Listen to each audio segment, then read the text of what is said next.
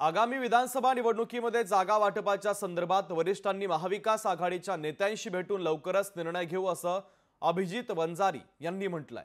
जेणेकरून दोनशे अठ्ठ्याऐंशी जागेवर काँग्रेसला लढण्याची वेळ आली तर तयारी राहील आणि या संदर्भात अभिजित वंजारी यांच्यासोबत संवाद साधलाय. आमचे प्रतिनिधी ज्ञानेश्वर पवार यांनी आपण ऐकूयात.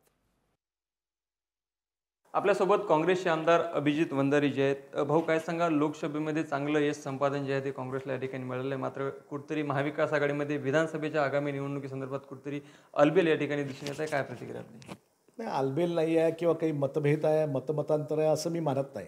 संजय राऊतांनी जो त्या ठिकाणी त्यांनी अपेक्षा व्यक्त केली ती गैरपण आहे असंही मला वाटत नाही. कारण कुठलाही पक्ष आहे तर आपल्या पक्षवाढीच्या दृष्टिकोनातून विधानसभेची निवडणूक त्या पक्षाच्या दृष्टिकोनातून महत्त्वाची असते. आणि म्हणून आपल्या पक्षाचे अधिक आमदार निवडून यावे अशी इच्छा व्यक्त करणं हेही काही चुकीचं नाही. परंतु या ठिकाणी या बाबतीमध्ये महाविकास आघाडीच्या नेत्यानं आमच्यासुद्धा पक्षश्रेष्ठींनी लवकरात लवकर निर्णय घ्यावा.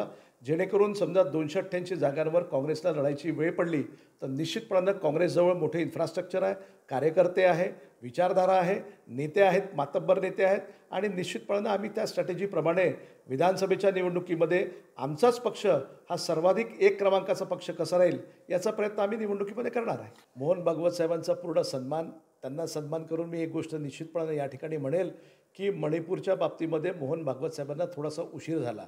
या लोकसभेच्या निवडणुकीच्या पूर्वी किंवा त्याही पूर्वी पूर्वी जेव्हा मणिपूरमध्ये अत्यंत मोठ्या प्रमाणामध्ये जाळपोळ झाली त्या ठिकाणी दोन समाजामध्ये मोठ्या प्रमाणामध्ये हिंसा घडून आली महिलांना नग्न त्यांची धिंड काढण्यात आली त्यावेळेस जर मोहन भागवत साहेब बोलले असते किंवा मोदी साहेबांनी वेळ काढून जर त्या ठिकाणी मणिपूरमध्ये गेले असते तर अधिक या देशातल्या जनतेला थोडंसं त्या ठिकाणी आवडलं असतं. परंतु दुर्दैवाने असं घडलं नाही. आणि म्हणून साप चालला गेला आणि मग आता लाठी मारण्यासारखा हा प्रकार आहे. त्याच्यामुळे भागवत साहेबांनी हे स्टेटमेंट पहिले द्यायला पाहिजे होतं. लोकशाही मराठीकरता ज्ञानेश्वर पवार नागपूर. लोकशाही मराठी.